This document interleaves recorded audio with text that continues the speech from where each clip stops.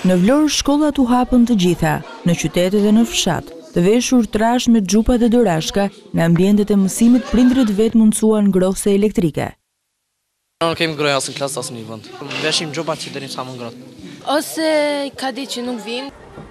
Rezervat e gazit për ngrohje në shkollat e Shkodrës janë të pakta. Por kjo mënyrë i ka frikësuar nxënësit dhe arsimtarët tek nëntëvjeçarja Ndoc Mazi. Ngrohja në klasën tonë mungon. Disa muaj para se të fillonte shkolla kishim ngrohje me gaz, por ajo ngrohje nuk mjafton për klasën tonë dhe sot ne nuk kemi rezerva për të ngrohur. Ne në klasë ngrohemi me gaz, por edhe ajo gaz ka maruar.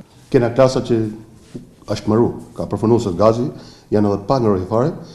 Unë sa jam kthy nga sektori ekonomik drejtorisë arsimore, kontaktova dhe presim me më furnizu mrena ditës sotme Me gaz për klasat që mungon. Në Durrës nxënësit thonë se kanë ftohtë dhe në klasa nuk ka ngrohje. Në bashkinë e Durrësit vetëm dy shkolla janë me sistem ngrohje. S'kemi vaksa. Bëfim me xhupa. Tani nuk e dimë kush më ose nuk ka hum. Sot nuk ka marrë gjëra për asoj, se nuk është dash ftohtë sot.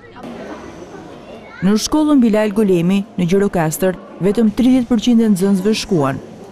Një problematikë tjetër mbetet shkolla e Picarit, pasi është pezulluar mësimi, mësues dhe nxënës nuk kanë shkuar në shkollë për shkak se rruga ka qenë e bllokuar dhe e vështirë për të shkuar dhe të zhvilluar një proces mësimor. Që në mëngjes na ka ardhur furnizimi me naftë, janë ndezur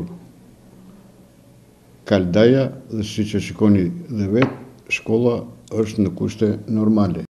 Orë të reduktuara për nxënësit në shkollat e Kukësit, disa shkolla u ngrohën me dru, shumë nga fëmijët i çuan vetë ato. Megjithatë, siç raporton gazetari i ABC News, nuk pati bllokim të rrugëve apo mungesë të arsimtarëve.